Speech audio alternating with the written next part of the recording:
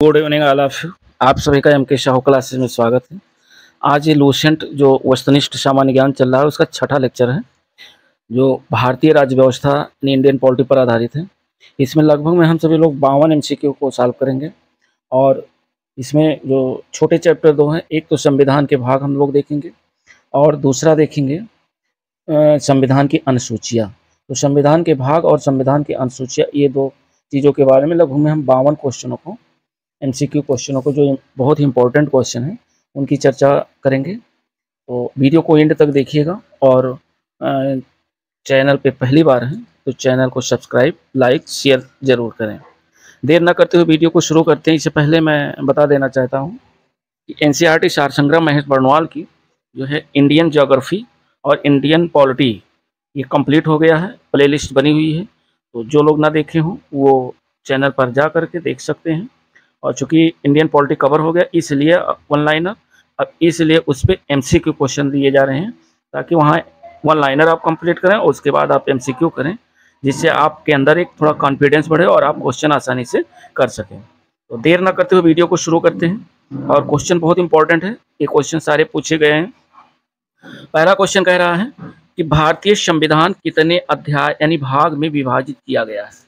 तो भारत का जो संविधान है, वह चार ऑप्शन दिए हुए हैं और इसमें से राइट ऑप्शन आपको चूज़ करना है। तो हम चारों ऑप्शनों को नहीं पढ़ेंगे। आप लोग भी अपने आप गेस करिए और फिर देखिए, एक सेकंड का हर क्वेश्चन में आपको समय मिलेगा और फिर क्वेश्चन को आप टिक करिए कि कहाँ तक आप कॉन्फिडेंस के साथ कितने क्वेश्चन आपके सही हो रहे हैं। तो दोस्तों, पहले का जो राइट ऑप्शन है, वो डी है, बाईस। बाईस जो है भारतीय संविधान जो है, बाईस भागों में विभाजित है। तो इसका जो राइट ऑप्शन है, वो डी है बाईस। अगला, दो नंबर क्वेश्चन कह रहा है कि संविधान के किस भाग में? संविधान संशोधन की प्रक्रिया का उल्लेख किया गया है। किस भाग में? वेरी इंपॉर्टेंट क्वेश्चन है ये। और इसमें जो है, संविधान के भाग जो है, दो नंबर है। दो नंबर का राइट ऑप्शन सी अर्थात, संविधान भाग 20 में, संविधान के जो संशोधन की प्रक्रिया है, वह संविधान के भाग 20 में इसका उल्लेख किया गया है। तो इस हिसाब से दूसरे का राइट ऑप्शन सी हुआ। तीन नंबर क्वेश्चन कह रहा है कि संविधान के किस भाग में Panchayati Raj very very important है? क्वेश्चन है पंचायती राज व्यवस्था संबंधी प्रावधान किए गए हैं। संविधान के किस भाग में? भाग पूछ रहा है। तो इसका जो राइट ऑप्शन है, आप लोग भी गेस करें। ये यूपी पी सी दो में क्वेश्चन पूछा गया है। तो संविधान के भाग नौ। संविधान के भाग नौ में संविधान का जो भाग नौ है, उसमें पंचायती राज व्यवस्था को पंचायती राज व्यवस्था संबंधी जो प्रावधान है वो दिए गए हैं भाग नौ में। यद आ जाता है भाग नौ ए। तो भाग नौ ए में जो है ये नगर पालिका संबंधी जो प्रावधान है, वो भाग नौ ए में दिए गए हैं। क्वेश्चन बहुत ही इंपॉर्टेंट है। अगला क्वेश्चन कह रहा है कि संविधान के किस भाग में अस्थायी संक्रमण कालीन विशेष उपबंधों का प्रावधान किया गया है? तो अस्थायी संक्रमणकालीन विशेष उपबंधों का जो प्रावधान किया गया है, इसका जो राइट ऑप्शन है, वह सी है, भाग इक्कीस में। फाइव नंबर क्वेश्चन की हमारे संविधान के किस भाग में तीन सोपानों में पंचायत बनाने की परिकल्पना की गई है? तो हमारे संविधान के किस भाग भाग पूछ रहा है? सवाल यहाँ से आते हैं। ये भी क्वेश्चन पूछा गया यूपी सी दो हज़ार चौदह में। तो फाइव का जो राइट ऑप्शन है, वो नौ। नौ, भाग नौ ए यानी भाग नौ में जो है पंचायत पंचायत बनाने की परिकल्पना की गई है। तो इस हिसाब से इसका राइट विकल्प होगा ए ऑप्शन ए सही सिक्स नंबर क्वेश्चन कह रहा है। सिक्स नंबर क्वेश्चन भी यूपी पीसीएस 2015 में क्वेश्चन पूछा गया है। इसमें कह रहा है कि निम्नलिखित में से संविधान का कौन सा भाग है, जिसमें नगर पालिकाओं से संबंधित है? अभी हमने बताया नगर पालिका जो पंचायत से संबंधित है, वो नौ है, और जो नगर पालिका से संबंधित है, वो नौ ए है। नौ ए या नौ का भी दिया रहे तो इस हिसाब से इसका जो राइट ऑप्शन है वह डी होगा। भाग नौ ए ये पंद्रह में क्वेश्चन पूछा गया इंपॉर्टेंट क्वेश्चन है। अगला है, संविधान के किस भाग में नीति निर्देशक तत्वों का उल्लेख किया गया है? जो हमारे नीति निर्देशक तत्व हैं इनका उल्लेख किया गया है, संविधान के पूछ रहा है किस भाग में? तो शायद सेवन का जो राइट ऑप्शन है, वो संविधान के चतुर्थ भाग में, चौथे भाग में नीति निर्देशक तत्वों का उल्लेख किया गया है। आप लोग कमेंट करके बताएँ कि जो नीति निदेशक तत्व हैं वह संविधान में जो हमारे संविधान में लिया गया, वो किस देश से लिया गया क्योंकि इससे पहले वाली वीडियो में हमने सारा कुछ कवर किया है। आठ नंबर क्वेश्चन कह रहा है कि संविधान के भाग एक भाग एक में किसका वर्णन किया गया है? तो चार ऑप्शन दिए हुए हैं और आपको राइट ऑप्शन चूज़ करना है। तो आप लोग भी गेस करिए और अपने आप देखिए। एक सेकंड का हर क्वेश्चन में समय आपको मिल रहा है। तो इसका जो राइट ऑप्शन है वो ये है, संघ और राज्य क्षेत्रों का जो उल्लेख किया गया है संविधान के भाग एक में किया गया है। इसलिए इस हिसाब से एट का जो राइट ऑप्शन होगा वो ए होगा। नाइन नंबर क्वेश्चन कह रहा है कि भारतीय संविधान के निम्नलिखित में से किस अध्याय में जनता को गारंटी यानी मूल अधिकार दिए गए हैं? तो मूल अधिकार संविधान के किस भाग में दिए गए हैं? नाइन नंबर का जो राइट ऑप्शन है, वो आप लोगों को चूज़ करना है। ए एस एस सी दो हज़ार पंद्रह में क्वेश्चन पूछा गया है। तो इसका नाइन का जो राइट ऑप्शन है, वो ये है।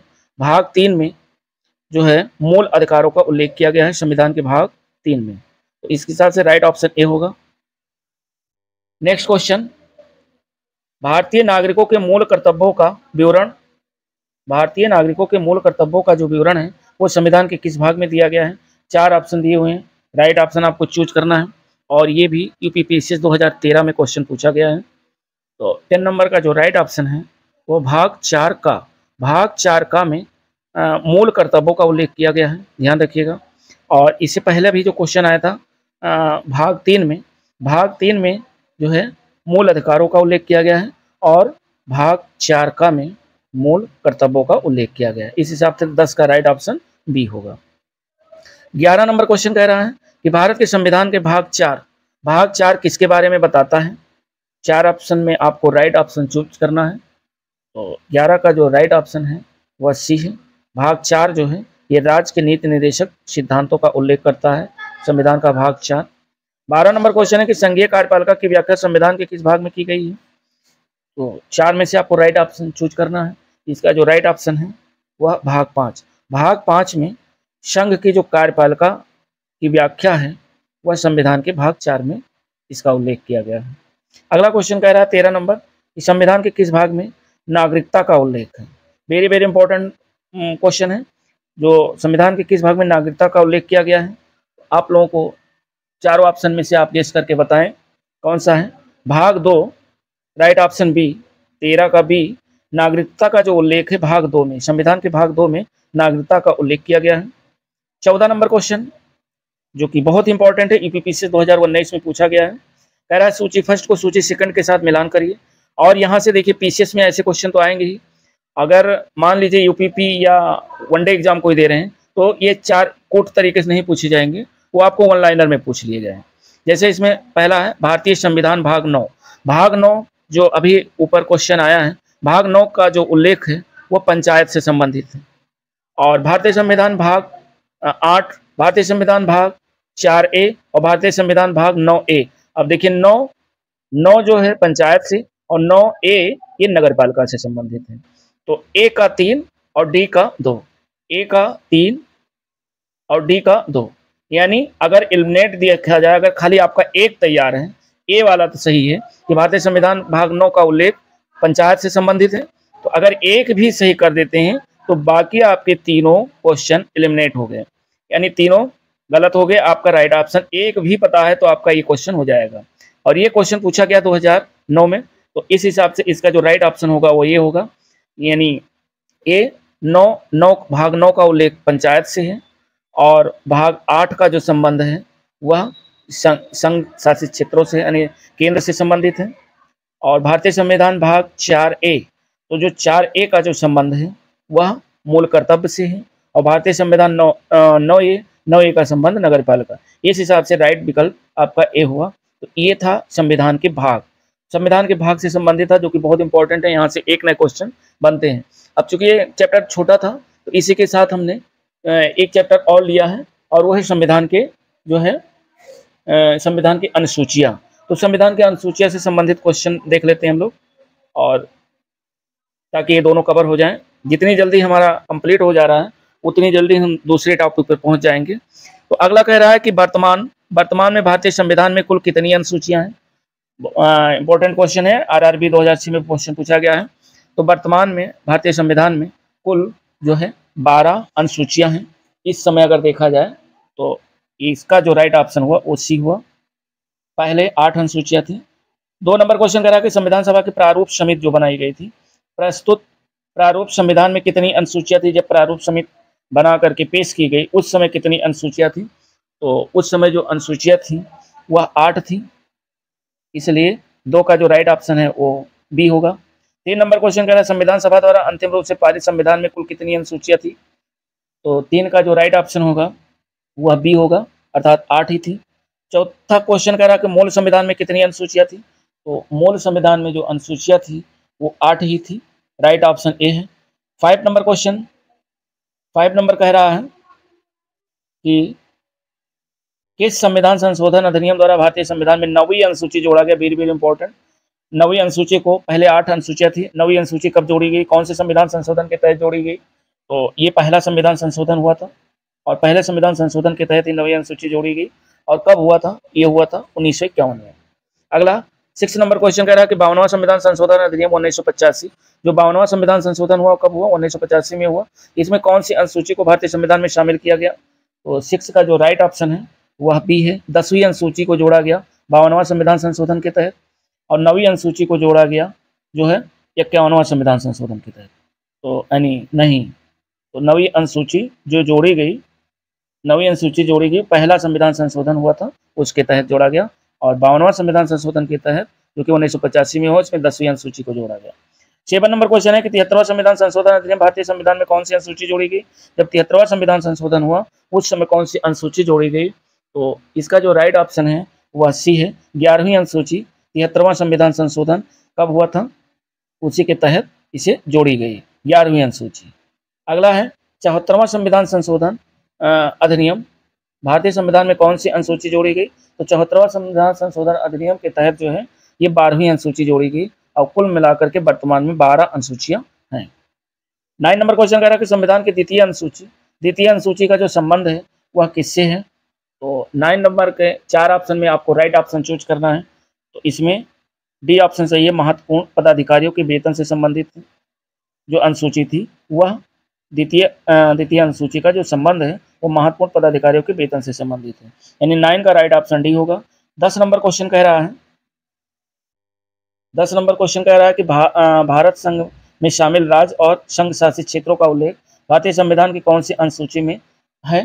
तो चार ऑप्शन में से आपको राइट ऑप्शन चूज़ करना है। और इसका जो राइट ऑप्शन है, वो प्रथम अनुसूची। यानी भारतीय संघ में शामिल राज्य और संघ शासित क्षेत्रों का उल्लेख भारतीय संविधान के पहली अनुसूची में है। ग्यारह नंबर क्वेश्चन कह रहा है कि राष्ट्रपति, राज्यों के राज्यपाल, सर्वोच्च न्यायालय, उच्च न्यायालय के जो न्यायाधीशों हैं और संसद तथा राज्य विधानमंडल के अधिकारी, भारत के नियंत्रण एवं महालेखा परीक्षक, आदि का वेतन के संबंध में जो प्रावधान किया गया है, वो संविधान के कह रहा किस अनुसूची में किया गया है। तो इसको आपको देखना है और चार ऑप्शन में से आपको राइट ऑप्शन चूज़ करना है। ये भी द्वितीय अनुसूची का विषय है और ये द्वितीय अनुसूची में इन सारी चीज़ों को रखा गया। यानी राष्ट्रपति का वेतन, राज्य के राज्यपाल का वेतन, सर्वोच्च न्यायालय, उच्च न्यायालय के न्यायाधीश, संसद, विधानमंडल के जो अधिकारी हैं, भारत के नियंत्रण महालेखा परीक्षक आदि के वेतन के संबंध में जो प्रावधान है, वो संविधान की दूसरी अनुसूची में है। यानी तो ग्यारह का जो राइट ऑप्शन है, वह आपका बी है। चलिए, बारह नंबर क्वेश्चन देखते हैं कि भारतीय संविधान की तीसरी अनुसूची का संबंध किससे है? तो तीसरी अनुसूची का जो संबंध है वह इससे है चार विकल्प में आपका राइट विकल्प है बी शपथ तथा प्रतिज्ञान से संबंधित है, भारतीय संविधान की जो तीसरी अनुसूची है। तेरह नंबर क्वेश्चन कह रहा है कि संविधान की किस अनुसूची में प्रत्येक राज्य तथा राज्य संघ राज्य क्षेत्रों के लिए राज्यसभा में स्थानों के आवंटन की जो सूची है, वो कौन सी अनुसूची में है? तो तेरह का जो राइट ऑप्शन है, वो आपका क्या है? डी चतुर्थ अनुसूची में। चतुर्थ अनुसूची जो है, यह संघ और राज्य क्षेत्रों में राज्यसभा के स्थानों के आवंटन से संबंधित है। चतुर्थ अनुसूची। ये question R RB T C में पूछा गया है। अगला क्वेश्चन कह रहा है, निम्न में से, भारत के संविधान के किस एक अनुच्छेद या अनुसूची का संबंध स्वशासी जिला परिषदों से है? स्वशासी जिला परिषदों से तो चारों विकल्प में जो आपका राइट विकल्प है वह सी है। छठी अनुसूची से संबंध है इसका। ये सी डी में क्वेश्चन पूछा गया है। पंद्रह नंबर क्वेश्चन कह रहा है कि भारतीय संविधान में बाईस भाषाओं को राजभाषा का दर्जा प्रदान किया गया है। इन राजभाषाओं का उल्लेख किस अनुसूची में है? जो राजभाषाएँ, इनका संबंध किस अनुसूची में है? तो पंद्रह का जो राइट ऑप्शन है, वह आपका बी है, आठवीं अनुसूची में। जितनी भी बाईस भाषाएँ हैं, उनको जो राजभाषा का दर्जा प्रदान किया गया है, उन सभी को आठवीं अनुसूची के अंतर्गत शामिल किया गया है। सोलह नंबर क्वेश्चन कह रहा है, भारतीय संविधान की जो आठवीं अनुसूची है, आठवीं अनुसूची का संबंध पूछ रहा है। वेरी वेरी इंपॉर्टेंट कई बार ये क्वेश्चन विभिन्न एग्जामों में पूछा गया है। तो इसको देख लेते हैं। कि जो आठवीं अनुसूची का संबंध है, वह किससे है। तो 16 का जो राइट ऑप्शन है, वह आपका सी विकल्प सही है भाषाओं के साथ। यानी भाषाओं का जो संबंध हो आठवीं अनुसूची से नेक्स्ट क्वेश्चन सत्रह नंबर कह रहा है कि किसी अधिनियम किसी अधिनियम को संविधान की किस अनुसूची में शामिल करने पर उसकी वैधता को किसी न्यायालय में चुनौती नहीं दी जा सकती है? तो चार ऑप्शन में जो आपका राइट ऑप्शन है, वो आपका सी है, नवी अनुसूची। नवी अनुसूची में जो है न्यायालय में चुनौती नहीं दी जा सकती। उसकी वैधता को किसी न्यायालय में चुनौती नहीं दी जा सकती और वो अनुसूची है नवी। अठारह नंबर क्वेश्चन कह रहा है कि किस राज्य के आरक्षण विधेयक को नवी अनुसूची में शामिल किया गया? इसी राज्य के जो आरक्षण विधेयक हैं, उनको नवी अनुसूची में शामिल किया गया और वो राज्य आपको बताना है तो अठारह का जो राइट ऑप्शन है, वो आपका ए है, तमिलनाडु राज्य। उन्नीस नंबर क्वेश्चन कह रहा है कि हाल ही में आंध्र प्रदेश से अलग कर एक नए राज्य, जो तेलंगाना का गठन हुआ इससे भारतीय संविधान की किस सूची में परिवर्तन किया गया? तो जब भी कोई नए राज्य का गठन होता है तो किस अनुसूची का प्रयोग किया जाता है? और वो अनुसूची है, अनुसूची एक। किसी राज्य की सीमा बढ़ानी है या राज्य में परिवर्तन करना है तो सूची, अनुसूची एक का प्रयोग आप करेंगे। यानी अनुसूची एक में ही परिवर्तन किया जा सकता है। ये बी एस एस सी दो हज़ार पंद्रह में क्वेश्चन पूछा गया है। अगला जो क्वेश्चन है बीस नंबर, वो कह रहा है दल बदल के आधार पर निर्वाचित सदस्यों को सदस्यों की आयोगता संबंधी जो विवरण है, वो संविधान की किस अनुसूची में दिया गया है। तो बीस नंबर का जो राइट ऑप्शन है, वो आपका सी है। दसवीं अनुसूची में दल बदल विरोधी संबंधी जो है विवरण दिया गया है। तो दल बदल विरोधी जो अनुसूचियाँ हैं, वो दसवीं अनुसूची है। कई बार ये आर ओ आर ओ में भी पूछा गया क्वेश्चन नेक्स्ट क्वेश्चन देखते हैं। अगला क्वेश्चन कह रहा है कि भारतीय संविधान की जो दसवीं अनुसूची है दसवीं अनुसूची किससे संबंधित? अभी आ गया। तो ये दसवीं अनुसूची जो संबंधित है दल बदल कानून से अर्थात राइट ऑप्शन ये आपका होगा। तो इक्कीस का जो राइट ऑप्शन है वो ए है। बाईस नंबर कह रहा है कि संविधान की जो छठी अनुसूची है छठी अनुसूची किस राज्य में लागू नहीं होती है? तो छ, जो छठी अनुसूची है वो आपको बताना है कि किस राज्य में लागू नहीं होती है। चार ऑप्शन में आपका जो राइट ऑप्शन है वो डी है मणिपुर। मणिपुर राज्य में छठी अनुसूची लागू नहीं होती है, ये भी एम पी चार में पूछा गया है और इक्कीस नंबर जो है छत्तीसगढ़ पीसीएस में पूछा गया 2012 में। तेरह नंबर क्वेश्चन जो कोर्ट से संबंधित है तो सूची फ़र्स्ट दिया हुआ है सेकंड दिया हुआ है, आपको इसमें कोड भी दिया हुआ है, सूची फ़र्स्ट अनुसूचिया दी है, सूची सेकंड संबंधित विषय दिया हुआ है, चतुर्थ अनुसूची, षष्ठ अनुसूची, अष्टम अनुसूची, नवम अनुसूची। तो जो अष्टम अनुसूची है, देखिए ये भाषा से संबंधित है आठवीं ठीक है? तो बी का दो बी का दो अब यहाँ पे बी के दो ए विकल्प है और डी है। तो इसके मतलब बी आपका एलिमिनेट हो गया और सी आपका एलिमिनेट हो गया। बी और सी से कोई मतलब नहीं है। आगे जो आपका अगला वाला है, उसमें देखते हैं कि देखिए, जो दूसरा है बी ये भाषा से जो आठवीं अनुसूची, जो सी का है सॉरी इसमें जो सी है, अष्टम अनुसूची। अष्टम अनुसूची ये राज्य भाषा से संबंधित है। तो अष्टम अनुसूची राजभाषा से संबंधित है, अर्थात इसका जो है किससे संबंध होगा? सी का विकल्प तीसरा। तो सी में तीसरा कौन सा सही है? ये गलत हो रहा है। देखिए, जो षष्टम अनुसूची, चतुर्थ अनुसूची और पंचम अनुसूची। तो इसमें जो है विकल्प चतुर्थ अनुसूची का जो संबंध है, वह है आपके राजभाषा से। चतुर्थ अनुसूची का संबंध राजभाषा से और जो अष्टम अनुसूची है, यानी षष्ठ अनुसूची, अष्टम अनुसूची का जो संबंध है सी सी का जो संबंध है वो भाषा से है। तो सी का दो हुआ और ए का हुआ तीन, ए का हुआ तीन। तो ए का तीन और सी का हुआ दो। ए का तीन और सी का दो। इस हिसाब से आपका पहला विकल्प एलिमिनेट हुआ, दूसरा एलिमिनेट हुआ और तीसरा आपका चौथा आपका एलिमिनेट हुआ। इस हिसाब से अगर देखा जाए तो तीसरा सी वाला विकल्प सही है इसमें, क्योंकि नवी अनुसूची का जो संबंध है, वह डी डी का भूमि सुधार से संबंधित है और जो षष्ठ अनुसूची है, इसका जो संबंध है वो जनजातीय क्षेत्र से संबंधित है। इस हिसाब से ए का तीन ए का तीन और बी का चार तो इस हिसाब से ना आपका इसमें सी विकल्प आपका सही है। दोस्तों, ये क्वेश्चन इसका सी विकल्प सही है तेईस का सी तो अब चलते हैं नेक्स्ट क्वेश्चन में। ये यूपीपीसी दो हज़ार उन्नीस सौ निन्यानवे में क्वेश्चन पूछा गया है। इस हिसाब से इसका राइट विकल्प सी होगा। तेईस का सी और चौबीस नंबर क्वेश्चन, चौबीस नंबर भी कोर्ट पर ही आधारित है। इसको देखते हैं। सूची फ़र्स्ट, सूची सेकंड से सुमेलित कीजिए। सूचियों में दिए गए नीचे सही उत्तर का चयन करना। सूची फ़र्स्ट, अनुसूची से, अनुसूचियाँ हैं और सूची सेकंड में संबंधित विषय दिया हुआ है। तो अब आपको जो है, राइट ऑप्शन चूज़ करना है। देखिए, जो आठवीं अनुसूची का संबंध है, वह किससे है? तो आठवीं अनुसूची का जो संबंध है, वह राष्ट्रीय राजभाषाओं की सूची से है। अर्थात ए का विकल्प तीन हुआ। अब ए का तीन हुआ तो ए ए के तीन सीधी सी हो सकता है या डी हो सकता है। अर्थात ए और बी एलिमिनेट हो गया ए बी तो कतई नहीं हो सकते।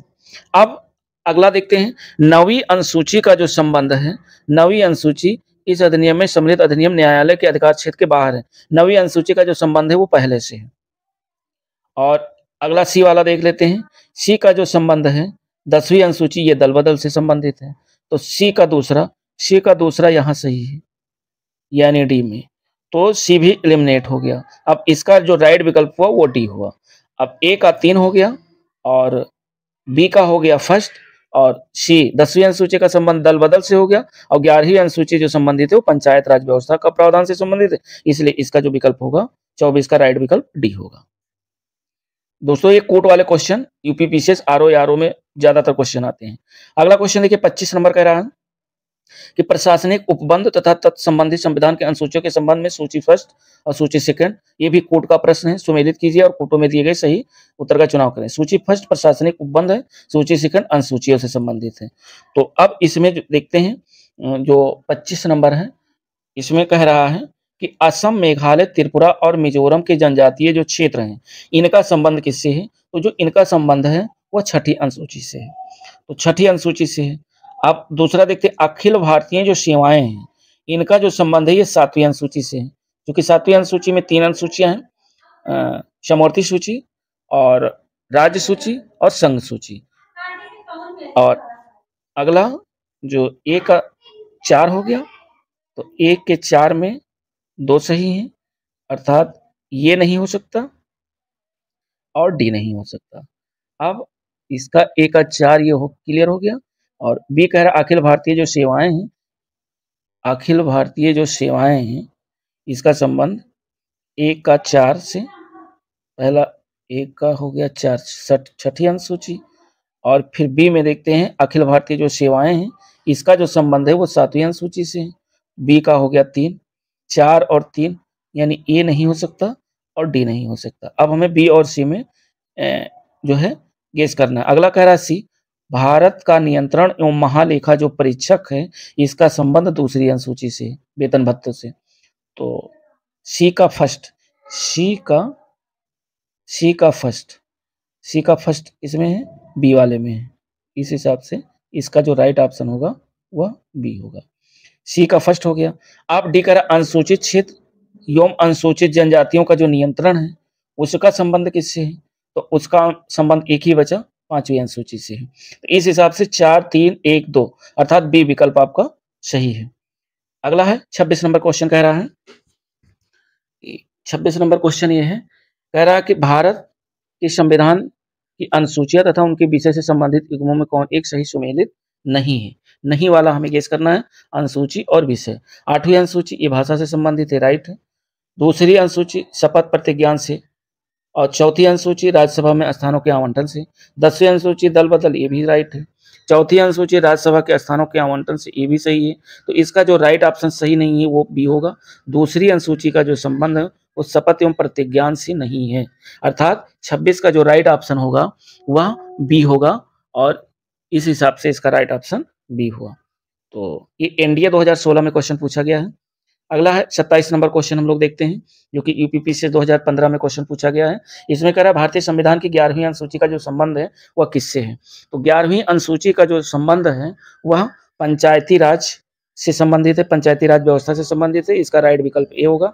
अट्ठाईस नंबर क्वेश्चन, निम्नलिखित में से कौन सा एक कथन भारत के संविधान की चौथी अनुसूची का सही वर्णन करता है? तो चौथी अनुसूची का जो सही वर्णन करता है, वह आपको चार विकल्प दिए हुए हैं और इसका जो राइट विकल्प है, वह डी है। इसमें राज्यसभा के स्थानों के आवंटन से संबंधित उपबंध अंतर्निहित है, क्योंकि चौथी अनुसूची का जो संबंध है, वो राज्यसभा में जो संबंध राज्यसभा के स्थानों से संबंधित है और इसी से इस हिसाब से ये इसका जो 28 है, इसका राइट विकल्प डी होगा। उनतीस नंबर क्वेश्चन कह रहा है कि सूची फ़र्स्ट सूची सेकंड का साथ सुमेलित करना है। सूची फ़र्स्ट सूची सेकंड सूची फ़र्स्ट में प्रशासनिक उपबंध है, सूची सेकंड में संबंधित अनुसूचियाँ हैं। तो राज्य एवं केंद्र राज्य एवं केंद्र का जो संबंध है वह किससे का उल्लेख कहाँ होता है? महत्वपूर्ण पदाधिकारियों के वेतन भत्ते। सी है विभिन्न पदों के लिए पद और गोपनीयता की शपथ। और चौथा है राज्यसभा में राज्य व केंद्र शासित प्रदेशों के स्थानों का जो आवंटन है, वह किससे संबंधित है? तो राज्य व केंद्र केंद्र शासित प्रदेशों का जो उल्लेख है वह चौथी अनुसूची में है। और चौथी अनुसूची नहीं। राज्य व केंद्र शासित प्रदेश का जो उल्लेख है, वह आपके राज्य व केंद्र राज्य व केंद्र शासित प्रदेश का जो उल्लेख है, वो पहली अनुसूची में है। दूसरा, देखते हैं महत्वपूर्ण पदाधिकारियों के वेतन एवं भत्ते जो है, वह दूसरी अनुसूची से संबंधित है। विभिन्न पदों के लिए पद एवं गोपनीयता की जो शपथ है, वह तीसरी अनुसूची के अंतर्गत है। और राज्यसभा में राज्य व केंद्र शासित प्रदेशों के जो स्थानों का आवंटन वो चौथी अनुसूची से संबंधित तो इसका जो राइट विकल्प एक, दो, तीन, चार, एक, दो, तीन, चार, यानी राइट विकल्प आपका डी होगा और डी विकल्प इसका सही है। नेक्स्ट क्वेश्चन नेक्स्ट क्वेश्चन देखते हैं। तीस नंबर, कह रहा कि भारतीय संविधान में निम्न दी गई अनुसूचियों में कौन सी अनुसूची राज्य के नामों की सूची एवं राज्य क्षेत्रों का ब्यौरा जो है देती है? तो चार विकल्प में आपका राइट विकल्प होगा, पहला, यानी ए विकल्प, पहली अनुसूची। ये यूपीपी से 2014 में क्वेश्चन पूछा गया है। ध्यान रखिएगा वन लाइनर टाइप का ही है क्वेश्चन लेकिन ये पूछ लिया है। ये पहली अनुसूची से संबंधित है। इकतीस नंबर कह रहा है, भारतीय संविधान में जो नवी अनुसूची नवी अनुसूची परिवर्धित हुई है। नवी अनुसूची किसमें परिवर्धित हुई है? तो चार विकल्प दिए हैं, चारों में जो आपका राइट विकल्प है, वह आपका ए है, यानी प्रथम संशोधन के द्वारा जो है नवी अनुसूची में परिवर्तन किया गया। अगला है बत्तीस नंबर की यदि भारत संघ को नए राज्यों, राज्य का सृजन करना हो तो संविधान के निम्नलिखित अनुसूचियों में से किस एक को अवश्य संशोधन किया जाना चाहिए? तो बत्तीस का जो राइट ऑप्शन है दोस्तों, वो है पहली। पहली अनुसूची में संशोधन किया जाना चाहिए। ये आई एस में क्वेश्चन पूछा गया है। तैतीस नंबर क्वेश्चन कह रहा है कि निम्नलिखित में से कौन सा कथन संविधान की चतुर्थ अनुसूची को सही सही वर्णित करता है? चौथी अनुसूची को सही सही वर्णित करता है। चारों विकल्प में आपको राइट विकल्प चूज़ करना है और इसका जो राइट विकल्प है, वो भी है कि यह राज्यों के परिषद में सीटों के बंटवारा करता है। कौन करता है? ये चौथी जो अनुसूची है, चौथी अनुसूची का, ये राज्य क्षेत्रों के परिषद में सीटों का बंटवारा करती है चौथी अनुसूची। फिर चौतीस नंबर क्वेश्चन फिर एक कोट पर आधारित क्वेश्चन है।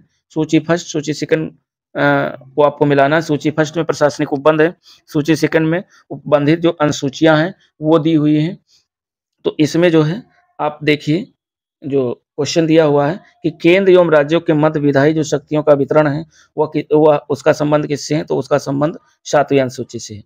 भाषाओं का जो उल्लेख किया गया है, वो आठवीं भाषा में है, अर्थात बी का दूसरा है।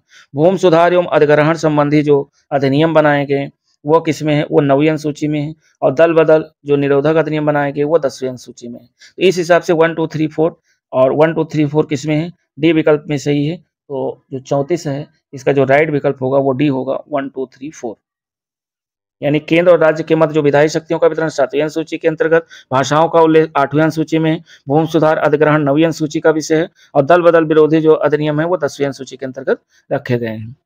अगला जो क्वेश्चन है, पैंतीस नंबर, उसमें यह कह रहा कि भारत के संविधान की किस अनुसूची में विभिन्न राज्यों में अनुसूचित क्षेत्रों के प्रशासन और नियंत्रण के लिए विशेष उपबंध किया गया? आई दो में क्वेश्चन पूछा गया है। तो 35 का जो राइट ऑप्शन है, वह बी है, पांचवी। पांचवी अनुसूची में उपबंध किया गया है, प्रशासन एवं नियंत्रण के लिए जो विशेष उपबंध किए गए हैं। अगला क्वेश्चन है, छत्तीस नंबर। कह रहा निम्नलिखित में से कौन नई नई जोड़ी गई अनुसूची नहीं नहीं है? नहीं पूछ रहा है कि नई कौन सी अनुसूची नहीं जोड़ी गई। आठवीं अनुसूची, नवी अनुसूची, दसवीं अनुसूची और ग्यारहवीं अनुसूची। तो देखिए, नवी बाद में जोड़ेगी दसवीं बाद में जोड़ेगी ग्यारहवीं बाद में जोड़ेगी तो इसका जो, छत्तीस का जो राइट विकल्प है, वो ये होगा यानी आठवीं अनुसूची जो है, वह पहले से थी, ये नई नहीं जोड़ी गई है। तो राइट विकल्प ए होगा छत्तीस का। सैंतीस नंबर क्वेश्चन सैंतीस नंबर क्वेश्चन कह रहा है कि सूची फ़र्स्ट और सूची सेकंड को सुमेलित करना है और सूची फ़र्स्ट में कृतकारी दिया हुआ, सूची सेकंड में शपथ या प्रतिज्ञान दिया हुआ। भारत का राष्ट्रपति, सर्वोच्च न्यायालय के जज, संसद का सदस्य, संघ के मंत्री। तो इस फूट के टाइप में क्वेश्चन है। तो इसको हम लोग देखते हैं, इसमें कौन सा विकल्प सही है। तो इसमें दिखेगा अब सैतीस। सैतीस नंबर सैतीस नंबर में आप लोग देखिए, थोड़ा गेस करिए कि कौन सा सही हो सकता है। तो देखते हैं, भारत का जो राष्ट्रपति है, ये भारत के संविधान के प्रति श्रद्धा एवं निष्ठा रखता है, अर्थात जो ए का संबंध है, वो थ्री से है। फिर सर्वोच्च न्यायालय के जो जज होते हैं तो ए का संबंध थ्री से, का मतलब ए भी सही हो सकता है और सी भी सही हो सकता है। यानी बी आपका एलिमिनेट हो गया और डी एलिमिनेट हो गया। अब आप लोग लिखिए देखिए बी जो सर्वोच्च न्यायालय के जो जज होते हैं तो सर्वोच्च न्यायालय के जज जज का जो संबंध है, वह किससे है? वह संविधान और विध की मर्यादा बनाए रखने से है। तो बी का चौथा होगा और बी में चार कहाँ कहाँ है? बी में चार आपके ए में भी है और सी में भी है। तो फिर अभी यहाँ से भी क्लियर नहीं होगा, चूँकि बी में भी चार है और यानी ए में भी चार है और बी में भी चार है। अगला पॉइंट देखते हैं कि संसद का जो सदस्य है, जो संसद का सदस्य है, उसका संबंध कर्तव्यों कर्तव्यों के निष्ठापूर्वक निर्वहन से है। यानी सी का जो संबंध है, वो दो से है। तो सी का जो संबंध है, वो दो से है। अर्थात हमारा जो विकल्प होगा, वह सी होगा। सी का मतलब तीन, चार, दो, एक। तीन, चार, दो, एक। अर्थात ए का जो संबंध है, वह तीन से है। बी का संबंध चार से है और सी का जो संबंध है, संसद का सदस्य, इसका जो संबंध है, कर्तव्यों के निष्ठापूर्वक निर्वहन से और जो संघ के मंत्री हैं, वो सूचना को सूचना की गोपनीयता रखते हैं। तो इस हिसाब से हमारा जो सैंतीस है, इसका राइट विकल्प हुआ सी। Last question. और ये आई एस उन्नीस सौ सत्तानवे में क्वेश्चन पूछा गया है। लास्ट क्वेश्चन बीपीएससी 2015 में क्वेश्चन पूछा गया इसमें देखते हैं कि भारतीय संविधान का कौन सा प्रावधान है, जो दल बदल। दल बदल निरोध निरोध से संबंध रखता है। तो अनुच्छेद 105 दसवीं अनुसूची, आठवीं अनुसूची या इनमें से कोई नहीं। तो राइट का आप लोगों को पता हो गया होगा कि राइट जो अड़तीस है, अड़तीस का जो राइट विकल्प है वो दसवीं। दसवीं अनुसूची का जो संबंध ही है, वह दल बदल विरोधी कानून से संबंधित है। बीपीएससी 2015 में क्वेश्चन पूछा गया। तो दोस्तों, ये वीडियो थोड़ा हल्का बड़ी ज़रूर हो गई है, लेकिन हमने दोनों चैप्टरों के जो मोस्ट इंपॉर्टेंट एमसीक्यू थे, उनको हमने कवर करने की कोशिश की है। और वीडियो को लाइक शेयर और सब्सक्राइब ज़रूर करें। और आगे जैसे वर्ड जाग्रफी कंप्लीट होता है तो वर्ड जाग्रफी के बाद में हम ये सोच रहे हैं कि एक जो है पर्यावरण एवं पारिस्थितिकी बहुत छोटा चैप्टर है। उसको दो, तीन, चार वीडियो में, तीन वीडियो में लगभग में कवर हो जाएगा। उसको कंप्लीट करके फिर एक वीडियो साइंस की और जो जो टॉपिक कंप्लीट हो गए, उसके एमसीक्यू आप लोगों को कम से कम पर डे दो तीन लेक्चर मिल जाएगा तो मिलते हैं दोस्तों नेक्स्ट वीडियो के साथ, तब तक के लिए नमस्कार, जय हिंद।